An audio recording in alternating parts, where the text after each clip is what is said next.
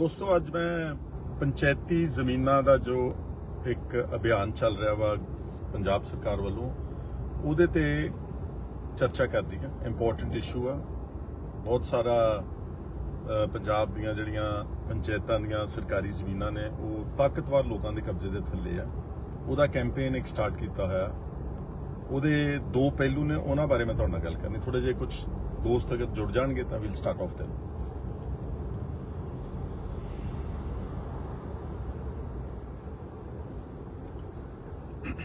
ਇਸ ਤਰ੍ਹਾਂ ਵਾ ਕਿ ਤੁਸੀਂ ਸਾਰੇ ਦੇਖ ਰਹੇ ਹੋ ਕਿ ਪਿਛਲੇ ਕੁਝ ਦਿਨਾਂ ਤੋਂ ਮੈਂ ਹੀ ਮੁੱਦਾ ਉਠਾਇਆ ਸੀਗਾ ਕਿ ਪੰਜਾਬ ਦੇ ਵਿੱਚ ਲਗਭਗ 6 ਲੱਖ ਏਕੜ ਜ਼ਮੀਨ, ਪੰਜਾਬ ਦੀ ਪੰਚਾਇਤਾਂ ਦੀ, ਸ਼ਾਮਲਾਟ ਦੀ ਜ਼ਮੀਨ ਨਜਾਇਜ਼ ਕਬਜ਼ੇ 'ਚ ਹੈ ਔਰ ਇਸ ਨੂੰ ਪੰਜਾਬ ਸਰਕਾਰ ਨੂੰ ਛਡਾਉਣਾ ਚਾਹੀਦਾ।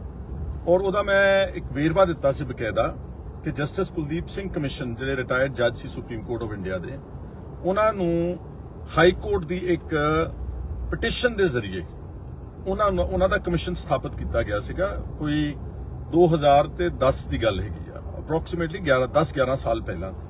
ਸੋ ਜਸਟਿਸ ਕੁਲਦੀਪ ਸਿੰਘ ਇੱਕ ਬੜੇ ਨੋਨ ਜੂਰਿਸਟ ਨੇ, ਬੜੇ ਇੰਡੀਪੈਂਡੈਂਟ ਮਾਈਂਡ ਨੇ ਔਰ ਬੜੇ ਇਨਸਾਫ ਪਸੰਦ ਤੇ ਓਨੈਸਟ ਆਦਮੀ ਦੇ ਸਾਰੀ ਜ਼ਿੰਦਗੀ। ਉਹਨਾਂ ਨੇ ਇੱਕ ਇਕੱਲੇ ਮੋਹਾਲੀ ਜ਼ਿਲ੍ਹੇ ਦਾ ਇੱਕ ਪ੍ਰੋਪਰ ਸਰਵੇ ਕੀਤਾ। ਉਹਨਾਂ ਨੂੰ ਮੋਹਾਲੀ ਦਾ ਹੀ ਕਿਹਾ ਗਿਆ ਸੀ ਜ਼ਿਆਦਾ। ਤਾਂ ਜਸਟਿਸ ਕੁਲਦੀਪ ਸਿੰਘ ਕਮਿਸ਼ਨ ਦੀ ਦੋ ਭਾਗਾਂ 'ਚ ਰਿਪੋਰਟ ਹੈਗੀ। ਉਹਦੇ 'ਚ ਪਾਇਆ ਗਿਆ ਕਿ 50000 ਏਕੜ ਪੰਚਾਇਤ ਦੀ ਲੈਂਡ ਤਾਕਤਵਰ ਪੋਲੀਟੀਕਲ ਤੇ ਬਿਊਰੋਕ੍ਰੈਟਸ ਤੇ ਅਫਸਰਸ਼ਾਹੀ ਦੇ ਹੱਥ ਵਿੱਚ ਹੈ। 50000 ਏਕੜ, ਜਿਹਦੀ ਕੀਮਤ ਬੇਸ਼ਕੀਮਤੀ ਜ਼ਮੀਨ ਕਿਉਂਕਿ ਜੇ ਚੰਡੀਗੜ੍ਹ, ਨਿਊ ਚੰਡੀਗੜ੍ਹ ਦੀ ਗੱਲ ਕਰ ਲਈਏ ਤਾਂ 2-2 3-3 ਕਰੋੜ ਦਾ ਏਕੜ ਆ ਜੇ ਆਪਾਂ ਜ਼ੀਰਕਪੁਰ ਸਾਈਡ ਦੀ ਗੱਲ ਕਰ ਲਈਏ, ਜਿੱਥੇ ਸਕਾਈ ਸਕ੍ਰੇਪਰ ਬਿਲਡਿੰਗਸ ਬਣੀਆਂ ਹੋਈਆਂ ਨੇ, ਉੱਥੇ 5-5 6-6 ਕਰੋੜ ਨੂੰ ਏਕੜ ਹੈ। ਜੇ ਮੋਹਾਲੀ ਪ੍ਰੋਪਰ ਦੀ ਗੱਲ ਕਰ ਲਈਏ, ਉਹਦੇ ਵਿੱਚ ਵੀ ਬਹੁਤ ਸਾਰੀਆਂ ਜ਼ਮੀਨਾਂ ਮੋਹਾਲੀ ਦੇ ird ਗਿਰਦ ਸ਼ਹਿਰ ਦੇ ird ਗਿਰਦ ਕਰੋੜਾਂ ਰੁਪਏ ਨੂੰ ਏਕੜ ਜ਼ਮੀਨਾਂ ਸੀਗੀਆਂ। ਖੈਰ ਉਸ ਵਕਤ ਤਾਂ ਪਿਛਲੀਆਂ ਸਰਕਾਰਾਂ ਨੇ ਉਸ ਨੂੰ ਠੰਡੇ ਬਸਤੇ 'ਚ ਪਾ ਦਿੱਤਾ। ਮੈਂ ਉਸ ਨੂੰ ਸਵੀਕਾਰ ਕਰਨ 'ਚ ਕੋਈ ਗੁਰੇਜ਼ ਨਹੀਂ ਕਰਦਾ। ਔਰ ਅਹ, ਕਿਉਂਕਿ ਉਹਨਾਂ ਦੇ ਆਪਣੇ ਸੈਲਫ ਵੈਸਟਡ ਇੰਟਰਸਟ ਸੀਗੇ। ਉਹਦੇ 'ਚ ਬਾਦਲ ਪਰਿਵਾਰ ਦਾ ਇੰਟਰਸਟ ਸੀਗਾ ਉਹਦੇ 'ਚ ਕੈਪਟਨ ਅਮਰਿੰਦਰ ਸਿੰਘ ਦਾ ਇੰਟਰਸਟ ਸੀਗਾ ਉਹਦੇ 'ਚ ਬਹੁਤ ਸਾਰੇ ਫਾਰਮਰ ਮਿਨਿਸਟਰਸ ਅਤੇ ਐਮਐਲਏਸ ਦਾ ਇੰਟਰਸਟ ਸੀ। ਉਹਦੇ 'ਚ ਬਹੁਤ ਸਾਰੇ ਅਫਸਰ ਅਫਸਰਾਂ ਅਫਸਰ ਹਮੇਸ਼ਾ ਬਚ ਜਾਂਦੇ ਨੇ ਜਿਹੜੇ ਚੀਫ ਸੈਕਟਰੀ ਲੈਵਲ ਦੇ ਅਫਸਰ ਸੀਗੇ ਡੀਜੀਪੀ ਸੁਮੇਧ ਸਿੰਘ ਸੈਣੀ ਵਰਗੇ ਅਫਸਰ ਸੀਗੇ। ਔਰ ਵੱਡੇ ਵੱਡੇ ਜਿਹੜੇ ਆਈਏਐਸ ਅਫਸਰ ਆਈਪੀਐਸ ਅਫਸਰਸ ਰੈਵਨਿਊ ਡਿਪਾਰਟਮੈਂਟ ਦੇ ਅਫਸਰਸ ਇਹ ਸਾਰਾ 50000 ਏਕੜ ਦਾ ਵੇਰਵਾ, ਉਸ, ਉਹਦੇ ਨਾਲ ਹੀ ਜਦੋਂ ਨਵਜੋਤ ਸਿੱਧੂ ਮਿਨਿਸਟਰ ਬਣੇ, ਉਹਨਾਂ ਨੇ ਇੱਕ ਸਬ ਕਮੇਟੀ ਬਣਾਈ ਇੱਕ, ਉਸੇ ਦੇ ਸਿਲਸਿਲੇ ਚ ਚੰਦਰ ਸ਼ੇਖਰ ਜਿਹੜੇ ਹੁਣ ਰਿਟਾਇਰਡ ਨੇ ਏਡੀਜੀਪੀ ਰਿਟਾਇਰ ਹੋਏ ਨੇ ਆਈਪੀਐਸ ਅਫਸਰ ਸੀਗੇ, ਉਹ ਵੀ ਆਪ ਕਾਫੀ ਓਨੈਸਟ ਰਹੇ ਨੇ। ਉਹਨਾਂ ਨੇ ਸਾਰੀਆਂ ਜ਼ਮੀਨਾਂ ਆਇਡੈਂਟੀਫਾਈ ਕੀਤੀਆਂ। ਹੁਣ ਕੈਂਪੇਨ ਚਲਾਇਆ ਹੋਇਆ ਇਸ ਵਕਤ ਜਿਹੜੇ ਕੁਲਦੀਪ ਧਾਲੀਵਾਲ ਪੰਚਾਇਤ ਮਿਨਿਸਟਰ ਨੇ, ਉਹਨਾਂ ਨੇ ਆਪ ਪਰਸਨਲੀ ਕੈਂਪੇਨ ਚਲਾਇਆ ਹੋਇਆ ਵਾ।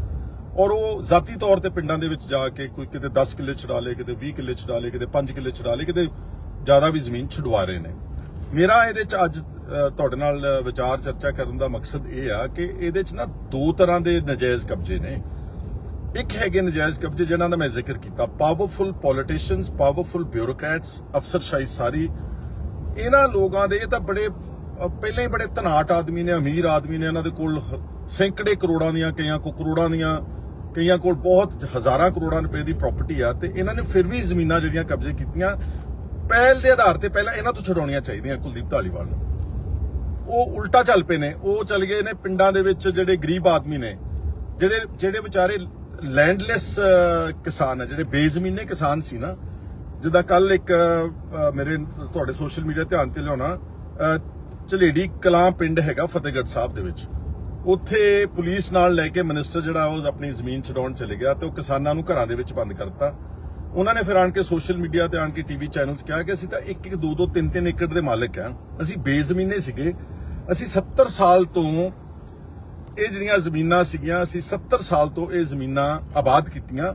ਇਹ ਬੰਜਰ ਸੀਗੀਆਂ। ਅਸੀਂ ਇਹਨਾਂ ਨੂੰ ਮਿਹਨਤ ਕਰਕੇ, ਇਹਨਾਂ ਨੂੰ ਜ਼ਮੀਨਾਂ ਨੂੰ ਆਬਾਦ ਕਰਕੇ ਤੇ ਅਸੀਂ ਇਹਨਾਂ ਤੇ ਕਾਸ਼ਤ ਕਰਕੇ ਆਪਣੀ ਰੋਟੀ ਕਮਾਉਨੇ ਆ ਔਰ ਆਪਣੇ ਪਰਿਵਾਰਾਂ ਨੂੰ ਪਾਲਦੇ ਇਹ ਪਹਿਲੂ ਬਹੁਤ ਇੰਪੋਰਟੈਂਟ ਆ, ਜਿਹੜਾ ਮਿਨਿਸਟਰ ਨੂੰ ਸਮਝ ਲੈਣਾ ਚਾਹੀਦਾ, ਸਰਕਾਰ ਨੂੰ ਸਮਝ ਲੈਣਾ ਚਾਹੀਦਾ ਕਿ ਇਹ ਜਿਹੜੇ 5 ਏਕੜ ਤੋਂ ਥੱਲੜੇ ਕਿਸਾਨ, ਬੇਜ਼ਮੀਨੇ ਕਿਸਾਨ, ਜਿਨ੍ਹਾਂ ਦੇ ਕੋਲ ਕੋਈ ਜ਼ਮੀਨ ਨਹੀਂ ਸੀ, ਚਾਹੇ ਉਹਦੇ ਚ ਜਨਰਲ ਕੈਟਾਗਰੀ ਆਉਂਦੀ ਤੇ ਚਾਹੇ ਉਹਦੇ ਚ ਕੋਈ ਦਲਿਤ ਕਿਸਾਨ ਆਉਂਦੇ ਨੇ।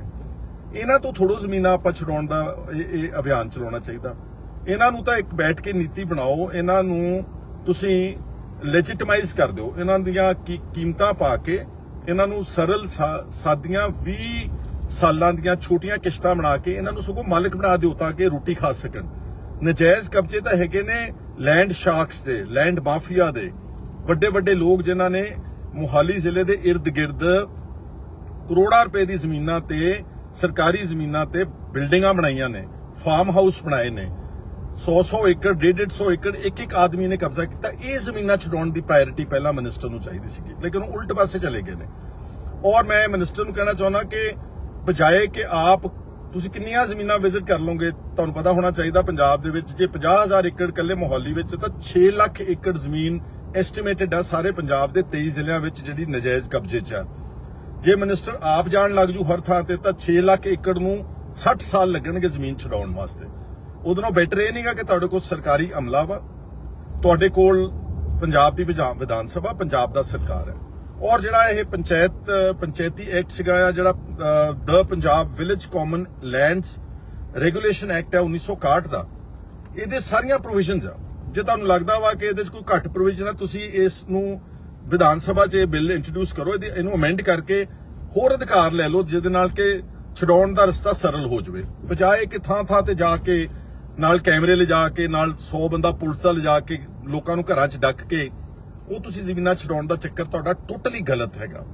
ਔਰ ਜ਼ਿਆਦਾ ਮਾਲਵੇ ਦੇ ਵਿੱਚ ਅਟੈਕ ਕਰਤਾ, ਮਾਝੇ 'ਚ ਵਿੱਚ ਘੱਟ ਨਜ਼ਰ ਆ ਰਿਹਾ ਕਿ ਮਾਝੇ 'ਚ ਤਾਂ ਕੋਈ ਜ਼ਮੀਨ ਛਡਾਉਣ ਦਾ ਉਪਰਾਲਾ ਜ਼ਿਆਦਾ ਨਹੀਂ ਕੀਤਾ ਗਿਆ ਮਿਨਿਸਟਰ ਵੱਲੋਂ।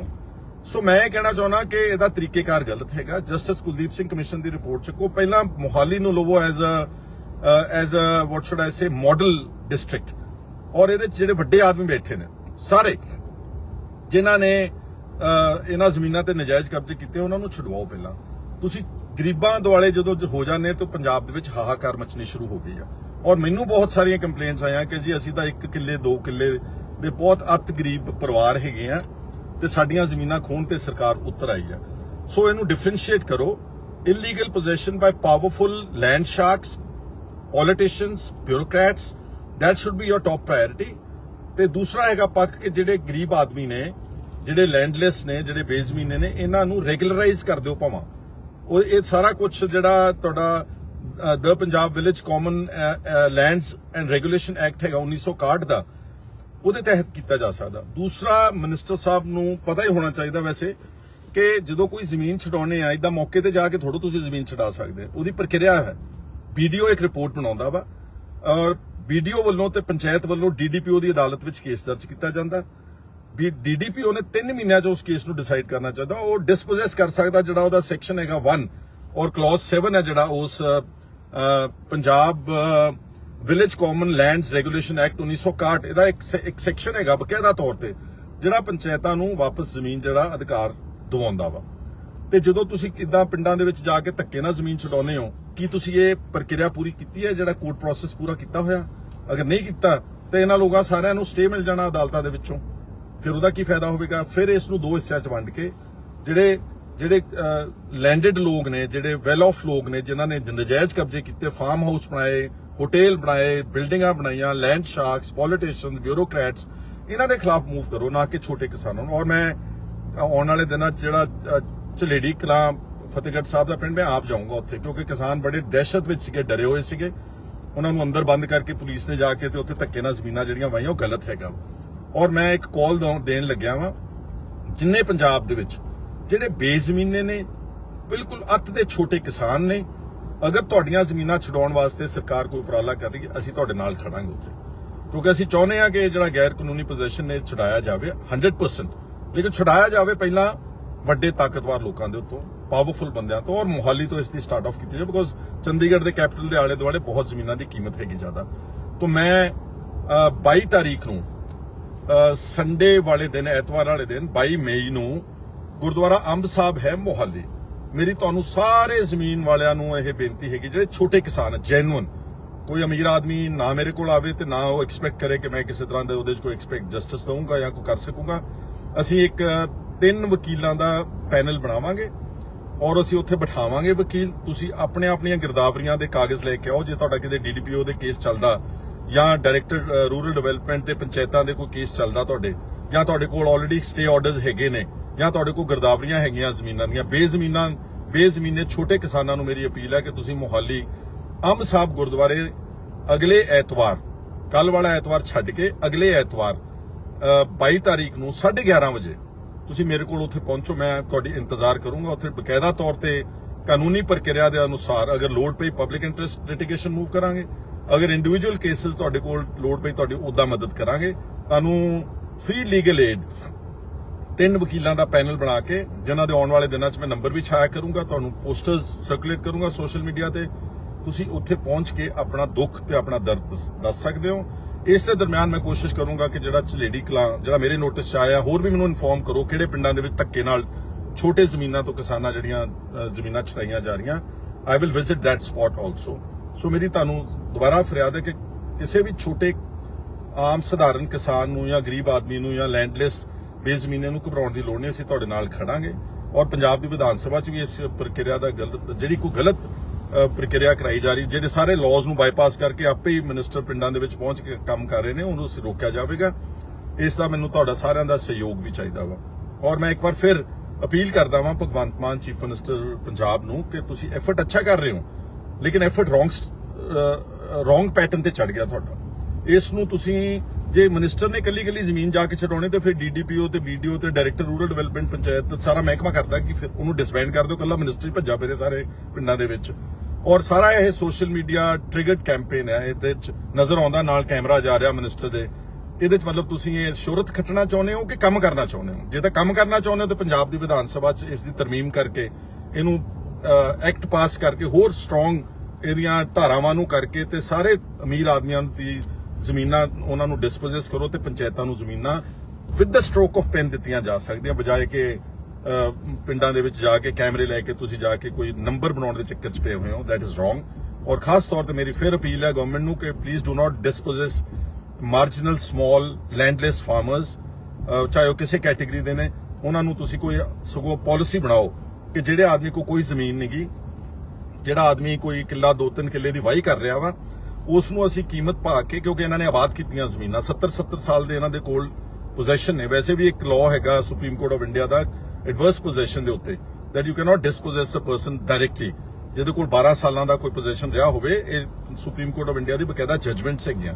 ਸੋ ਤੁਹਾਨੂੰ ਸਾਰਿਆਂ ਨੂੰ ਕਾਲ ਹੈ ਕਿ ਜਿਹੜੇ ਅਫੈਕਟਡ ਲੋਕ ਨੇ, ਜਿਹੜੇ ਸਮਝਦੇ ਨੇ ਕਿ ਸਾਡੇ ਨਾਲ ਧੱਕਾ ਹੋ ਰਿਹਾ, ਤੁਸੀਂ ਗੁਰਦੁਆਰਾ ਅੰਬ ਸਾਹਿਬ ਮੋਹਾਲੀ ਅਗਲੇ ਐਤਵਾਰ 22 ਮਈ ਨੂੰ ਠੀਕ 11:30 ਵਜੇ ਪਹੁੰਚਣ ਦੀ ਤੁਸੀਂ ਕਿਰਪਾਲਤਾ ਕਰਨਾ ਅਸੀਂ ਤੁਹਾਡੀ ਇਮਦਾਦ ਕਰਾਂਗੇ ਔਰ ਉਮੀਦ ਕਰਾਂਗੇ ਕਿ ਗਵਰਨਮੈਂਟ ਗਲਤ ਟਰੈਕ ਤੇ ਨਹੀਂ ਚੱਲੇਗੀ ਔਰ ਜੈਨੂਅਲੀ ਜਿਹੜੇ ਲੋਕ ਅ, ਤਾਕਤਵਰ ਜਿਹੜੇ ਲੋਕ ਨੇ ਉਹਨਾਂ ਤੋਂ ਜ਼ਮੀਨਾਂ ਛੁਡਵਾਈਆਂ ਜਾਣਗੀਆਂ। ਮਕਸਦ ਇਹਦਾ ਇਹੀ ਸੀਗਾ ਔਰ ਮੈਂ ਸਮਝਦਾ ਕਿ ਬਹੁਤ ਵੱਡਾ ਇਸ਼ੂ ਆ। It should be dealt with very carefully and it should not be seen as a victimisation of the poor people ਤੁਹਾਡਾ ਸਾਰਿਆਂ ਦਾ ਮੇਰੇ ਨਾਲ ਜੁੜਨ ਵਾਸਤੇ ਬਹੁਤ ਬਹੁਤ ਸ਼ੁਕਰੀਆ। ਅਗਰ ਤੁਹਾਨੂੰ ਲੱਗਦਾ ਕਿ ਇਸ਼ੂ ਠੀਕ ਹੈਗਾ, ਇਸ ਮੇਰੀ ਵੀਡੀਓ ਨੂੰ ਜ਼ਿਆਦਾ ਤੋਂ ਜ਼ਿਆਦਾ ਸ਼ੇਅਰ ਕਰਨਾ। ਤੁਹਾਡਾ ਧੰਨਵਾਦ, ਸੁਖਪਾਲ ਸਿੰਘ ਖੇਰਾ